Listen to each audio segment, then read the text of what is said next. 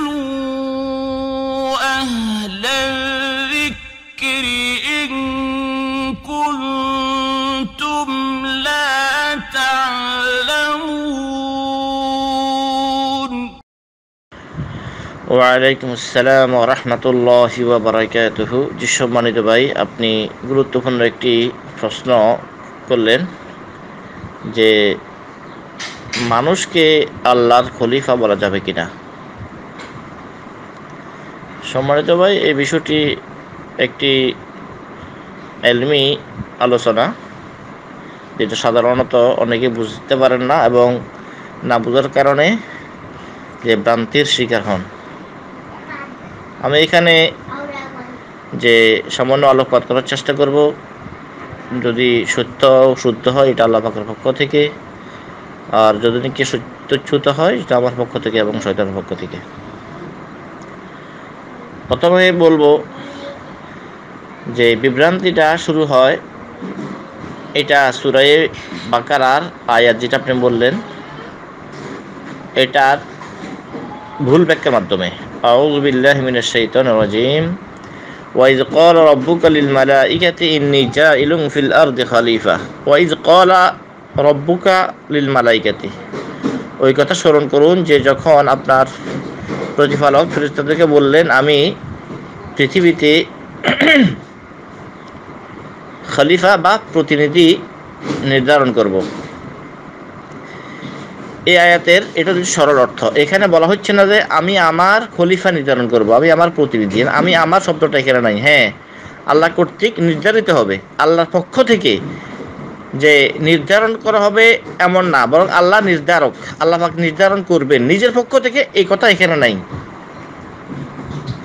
এখানে শুধু অর্থ এটা আছে, আল্লাহ তাবার কথা পৃথিবীতে স্থলাভিষিক্ত বা প্রতিনিধি বা খলিফা নিযুক্ত করবেন। এখানে আল্লাহ নিজের পক্ষ থেকে করবেন, এটা এখানে বোঝা যাচ্ছে না। একটা হচ্ছে আল্লাহ পাকের পক্ষ থেকে নির্ধারক হওয়া আর একটা হচ্ছে আল্লাহর পক্ষ থেকে নির্ধারক হওয়া। এইখানে যদি ভুল বুঝতে ভুল বুঝে তাহলে বাকিতেও সে ভুল বুঝবে। এখানে শব্দিক অর্থে বোঝা যাচ্ছে না যে, ইন্নি যা ইলুম ফিল আর্দে খালিফা আমি জমিনে প্রতিনিধি নির্ধারণ করব। এটা আছে। আর এটাই হয়েছে যে আলম আলাহ ইসলাম এর মাধ্যমে আল্লাহ তাবার তালা প্রতিনিধি নির্ধারণ করছেন। যেহেতু আমরা জানি মানব সমাজের আগে পৃথিবীতে জিন জাতি বসবাস করত। তাইলে জিন জাতির স্থলাভিষিক্ত হচ্ছে মানুষ। এই হিসেবে আল্লাহ তাবার কথা বলছেন, ইন্নি যা ইলুম ফিল আলদে খালিফা। এটা একটা অর্থ, আরেকটা অর্থ হচ্ছে যে আদম আলাইসালাম কেমন পর্যন্ত জীবিত থাকবেন না। আল্লাহ তাবার কথা আদম আলাইসালামের মাধ্যমে যে আল্লাহ পাকের শরিয়া, বিধি, বিধান নাজেল করছেন মানব জাতির জন্য, সেই বিধি, বিধান আদম আলাইসালামের লোকান্তরে উনার পরবর্তী সময়ে উনার আওলাদ আওলাদ আদম এর দায়িত্ব গ্রহণ করবে। ওই হিসাবে আদম আলাহ ইসলামের যে স্থলাভিষিক্ত হবে তারা তারা খলিফা হবে। তাহলে এখানে এই অর্থগুলোই হচ্ছে আসল অর্থ আহালুল সুন্নত ওল জামাতের অর্থ।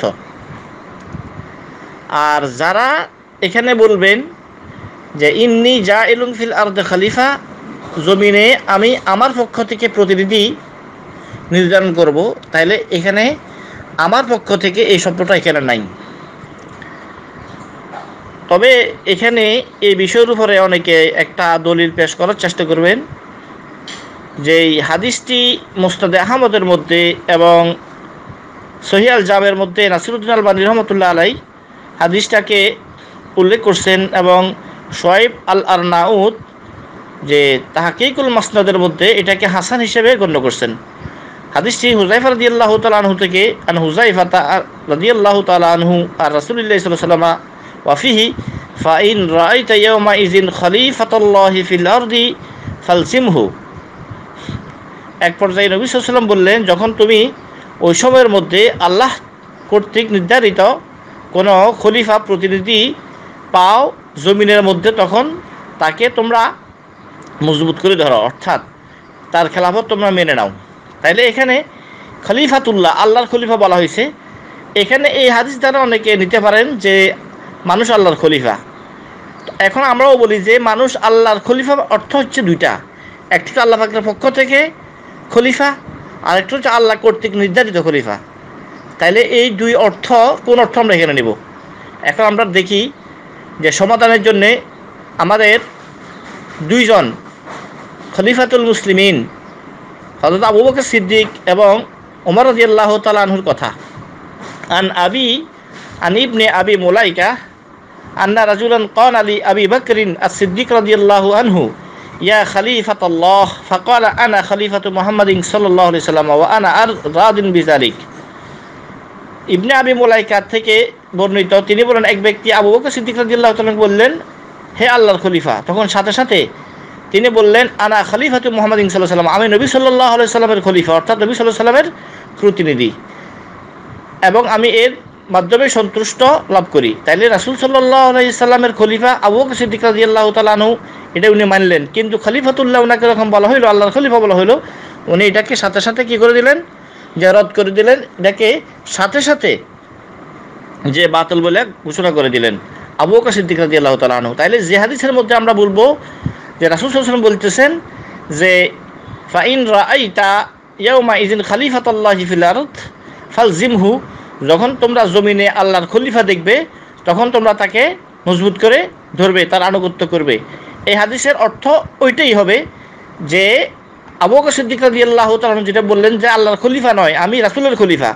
এখানে হাদিসের মধ্যে যে অর্থ হবে আল্লাহ কর্তৃক নির্ধারিত। আল্লাহর পক্ষ থেকে তা না। আল্লাহ তাবারক ওয়া তাআলার পক্ষ থেকে যে মানুষ পৃথিবীতে খলিফা, এই অর্থ নয়, বরং আল্লাহ তালা কর্তৃক নির্ধারিত খলিফা। এই দুইটার মধ্যে ব্যবধান হচ্ছে যে খলিফা হইতে গেলে, প্রতিনিধি হইতে গেলে যাকে প্রতিনিধি করা হবে, সে আর যার পক্ষ থেকে করা হবে, কি হইতে হবে? যে দুর্বল হইতে হবে এবং অনুপস্থিত হইতে হবে। তা আল্লাহ তাবার কোয়া তালার সামনে এই দুইটা আসবে না। আল্লাহ তাবার তালা দুর্বলও নয়, সম্পূর্ণ কাজ ফা আলুল্লিমা ইউরিদ। আল্লাহ যা ইচ্ছে তা নিজে করতে পারেন। আল্লাহ আলাকুল্লি সেই কাদির। আল্লাহ সর্ব, সর্বক্ষমতা অধিকার, অধিকারী। এভাবে আল্লাহ তাবার কথা আল্লাহ দুর্বল নয় এবং গায়েব নয়। তাইলে যে আল্লাহর খলিফা অর্থ এখানে হবে আল্লাহ কর্তৃক নির্ধারিত খলিফা আল্লাহ বানাইছেন। এখানে নিজের পক্ষ থেকে এই কথাটা আসবে না। তেমন যদি দেখি আমরা দেখি যে ওমর বিন খত্তাব রাজি আল্লাহ তালাহুকে এক ব্যক্তি বললেন কল রাজুল্লি উমর বিন খত্তাব রাজি আল্লাহ তালাহু ইয়া খলিফাত আল্লাহ এক ব্যক্তি উমর ইবনে খত্তাবকে বললেন, হে আল্লাহর খলিফা, ফকাল ওয়াই ইলাকা তোমার ধ্বংস হোক। লাকাদ তানা ওয়াল তা তানা উলান বাঈদান। তুমি বড় ধরনের একটা কথা তুমি বলে ফেলছ। ইন্না উম্মি সাম্মাত নি আমার মা আমার নাম লিখছেন ওমর ফালাও দাও তানি বিহাদ আদিসমি কাবিল তু যদি নাকি তুমি আমাকে ওমর বলো, আমি এতে রাজি আছি। সুম্মা কাবিল তু ফাকুন ফাকুন ফাকান্নাই তু আবু হাফস। আমি যখন বড় হইলাম, আমার মেয়ে হলো তখন আমাকে নাম রাখো আবু হাফস। হাফসের হাফসার ফিতা ফালাও দাও তানি বিহি কাবিল তু এই নামে তুমি যদি ডাকো আমি এটা মানতে রাজি আছে। রাজি আছি। সুম্মা ওয়াল্লাই তুমুনি উমুরাকুম ফাসাম্মাই তুমুনি আমির আল মুমিনিন। এরপরে তোমরা আমাকে, তোমাদের নেতা নির্ধারণ করছ, খলিফা বানাইছো। আর আমাকে তোমরা আমিরুল মুমিনুন বলো। ফালাও দাওয়াতা নিবিজা লিখা কাফাকা যদি লিখা আমিরুল মুমিনুন বলে, এটাও যথেষ্ট। তাইলে উমর আদি আল্লাহ তালকে নিজেকে খলিফাতুল্লাহ যে বলতে নিষেধ করলেন। অর্থাৎ আল্লাহর পক্ষ থেকে খলিফা যদি নাকি এখানে অর্থ হইয়া থাকে তাহলে এটা তো নেওয়াই যাবে না। আর সাধারণত খালিফাতুল্লাহ বলাটাও ওনারা পছন্দ করতেন না। যদিও নাকি এখানে খালিফাতুল্লাহ হাদিসের মধ্যে আসে, এটার যে খালিফা শব্দের অর্থকে আল্লাহ দিকে সম্বোধন করার অর্থ একটা হচ্ছে আল্লাহ কর্তৃক, আর একটা হচ্ছে আল্লাহর পক্ষ থেকে। এখানে আল্লাহর পক্ষ থেকে সেটা উদ্দেশ্য। যেমন আমরা বাইতুল্লাহ বলি মানে আল্লাহর ঘর, এই কথাটা সম্মানের জন্য আমরা বলি থাকি অথচ এটা না যে আল্লাহ পাকে এই ঘরের মধ্যে থাকে, নাউজুবিল্লাহ।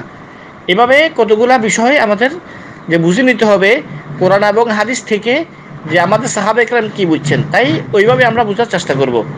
তাই সম্মানিত ভাই, এই বিষয়ে আমরা যে বিভ্রান্তির শিকার না হয়ে বরং আমরা যে খলিফা বলব, এখানে একে অপরের প্রতিনিধি হিসাবে আল্লাহ পাকের পক্ষ থেকে যে নির্ধারণ করা, এই অর্থে আল্লাহ পাকের যে আল্লাহ পাকের নির্ধারণ করা এই হিসাবে আমরা খলিফা বলব আল্লাহ পাকের পক্ষ থেকে নয়।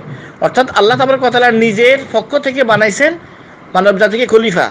এই অর্থে নয়। যেহেতু এই অর্থ সরাসরি কোনো কোরআনের আয়ত নাই এবং যে হাদিসের মধ্যেও নাই এবং সাহাবাই কেরাম আবু বকর এবং উমর দিল্লাহ তালুর কথার দ্বারা এটা পরিষ্কার হয়ে গেল যে মানুষ আল্লাহ, আল্লাহর পক্ষ থেকে খলিফা নয়, বরং আল্লাহ কর্তৃক খলিফা। আল্লাহ নির্ধারণ করছেন ওই দিক দিয়ে আল্লাহ তাবরক ওয়া তাআলার যে জীবন বিধানকে আল্লাহ তাবরক তাআলা মানব জাতির জন্য যে জীবন বিধান দান করেছেন সেটাকে মানব সমাজের মধ্যে যে কি করার জন্য, বাস্তবায়ন করার জন্য আল্লাহ পাক দায়িত্ব দিয়েছেন।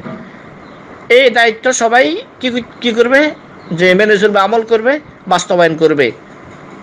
তাইলে আমরা বলব আল্লাহ তাবারক ওয়া তাআলা মানুষকে যে খেলাফতের দায়িত্ব দিছেন তবে এই খেলাফতের দায়িত্ব একটা আমরা বুঝে নিতে হবে যে আদম আলাইসালাম যতদিন ছিলেন, উনি যে জিন জাতির পক্ষ থেকে কী ছিলেন? খলিফা ছিলেন। আদমের পরে কেমত পর্যন্ত সবাই আদমের যে স্থলাভিষিক্ত, একে অপরের কী হবে? খলিফা হবে। এই অর্থে খলিফা আমরা বুঝতে পারি কোরআন এবং হাদিস এবং সাহাবাইকরামের যে উক্তি থেকে। আর সরাসরি এই কথা বলা যে মানুষ যে আল্লাহর খলিফা তাইলে আমি বল- বললাম যে আল্লাহ খলিফা যদি নাকি এই অর্থে হয় যে প্রতিনিধি যেটা আমরা বুঝি থাকি সাধারণত, সেটা হইতে হবে যে যে ব্যক্তি খলিফা বানাবে, প্রতিনিধি বানাবে, ওই ব্যক্তি অনুপস্থিত হইতে হবে বা ওই ব্যক্তি অক্ষম হইতে হবে। আর নাউজুবিল্লাহ, খলিফাতুল্লাহ এই অর্থ আল্লাহ পাকের শানের খেলাফ। আল্লাহ তাবার কথাটা কখনো দুর্বল নয়, আল্লাহ তাবার কথাটা কখনো গায়েব নয়। তাইলে যে এই অর্থে আল্লাহর খলিফা বলা যাবে না। মানুষ আল্লাহর খলিফা, আল্লাহর প্রতিনিধি, এই অর্থে বলা যাবে না। বলা যাবে শুধু এই অর্থে যে আল্লাহ কর্তৃক আল্লাহ কর্তৃক আল্লাহ বানান মানুষদেরকে একে অপরের প্রতিনিধি। আশা করি এই বিষয়টা বুঝতে পারছেন। বাকি আল্লাহ আলম ইসলাম আসসালামু আলাইকুম রহমতুল্লাহি ওবরাকাতুহ